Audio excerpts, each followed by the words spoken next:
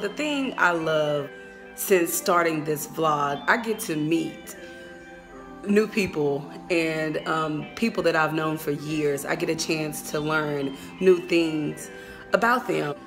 My friend that I spoke with on yesterday, he was one of the, the first people I spoke to about thinking about starting a vlog and he was supportive. He's always so supportive and I told him like, I'm gonna have to interview you, you know that, right? And that's exactly what I did on yesterday. And it couldn't have come at a better time with this being Easter weekend. His schedule finally cleared a little bit, and mine finally cleared a little bit after working all day for um, both of us we got a chance to sit down on yesterday evening and chat it up. If I ever took a loss, I learned a lesson. I won't ever think I'm better than the next man. I've been down before to come up, I ain't stressed. Honestly, Keith, when I met you, uh -oh. I knew, no, no, no, no. I knew something was different about you. But in a good way. And it took me asking to figure out what was different about you, which in my opinion was good. Talk about what you do outside of your professional career. I've been called into ministry. So How old were you? It was 2010. so what, seven years ago? So it's 28. Okay. I Called it 28. Were you immediately like, yep, gotta do what I was called or? To be honest, I was probably called back in high school. You know, like every, every typical child getting ready to enter into college, who wants to preach? You know what I'm saying? I'm getting ready to go to college. I'm, I'm gonna turn up.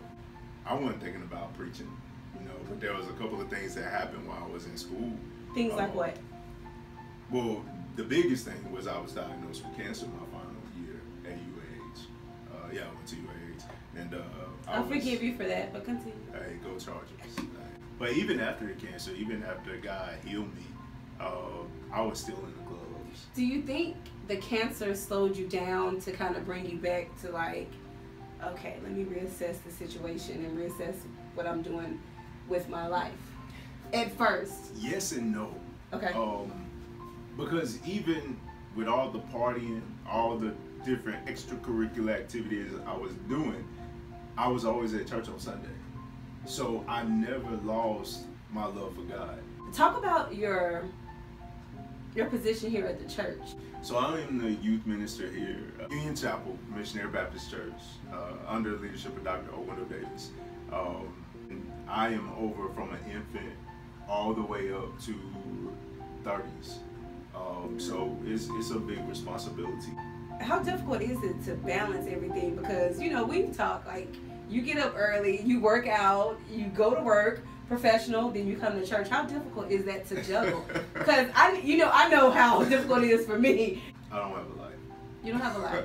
it affects me because a lot of times my friends be like, "Oh, yo, Keys, we, we doing this. Come out here," and it's like, "No, I can't. I can't do it this weekend." One reason um, I kind of gravitated towards you too. Um, for those who don't know, my dad's a minister, but my my brother, my oldest brother's a minister, and he's a young minister, okay. and I know the things that he goes through. I know the struggles that he goes through with trying to, you know, be a youth minister because you're young. like things hadn't stopped approaching you guys. You you and you're scrutinized more. It, yeah, like, you're I mean, definitely more in the, the public eye, yeah. and people are judging. How you deal with it? You know, honestly, it, it, it used to be a struggle. I had to get alone. I had to separate myself from people. Um, it wasn't that they did anything wrong. It was me. I had to get right with myself. That I was like, you know what? I love God, and I don't, you know, I don't, I don't make no apologies for that. You know, I don't make any apologies for who God has called me to be. For the person who hasn't been in church, ever been in church, or has been in and out of church, um, what is so important about coming to church, being a, amongst the congregation? Well, one, the Bible tells us that you need to fellowship with other believers. This is the problem, though. I think a lot of people, especially in our generation and younger, they focus on the hypocrites in church. And that becomes the problem. But what I will tell anybody, and you know, is we are all sinners saved by grace. Everybody in the church is a sinner. I'm not going to church. Every, nobody at church is any good. They're doing the same thing I'm doing. What would you tell a person? I would tell a person, let's come iron sharpens iron. I may know something in the Bible that can help you. You may know something in the Bible that can help me. What is the biggest thing you deal with?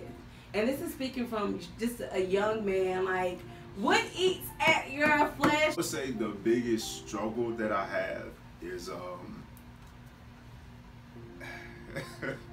um the relationship piece and just all that comes with relationships. Um, being a minister uh, is very lonely. It's a very lonely place because people don't really understand what God has called you to do. Like I, have been studying this week, of course, we're leading up to Easter. So I've really been studying what happened to Jesus, his life, the week leading up to his earthly death and the resurrection. And one thing that God just kept putting in my spirit is watch how Jesus did ministry for those three and a half years of ministry in his life. He literally ministered all the time. I can't give up because I have to remember what ministry is all about. And it's about serving God's people and it's about spreading his word. And that's what we all here, whether we choose to do it or not, that's really what we're all here to do. We're all here to spread the good news, the, the message of Jesus Christ. If I had a baby or two out of wedlock, am I welcome in the church? Come to church, yes, definitely. If I've been in prison, sold Come drugs. to church, yes. Why, why, why not? what do you have to lose? We all sinners.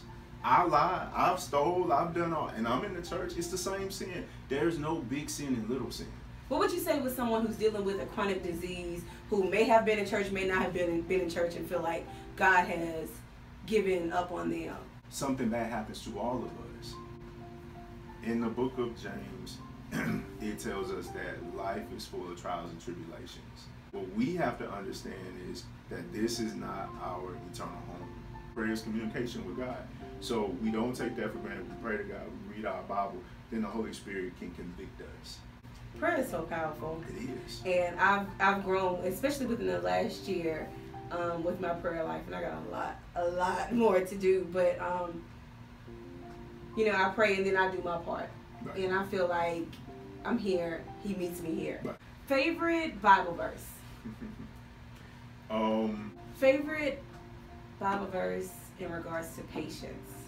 Love is patient.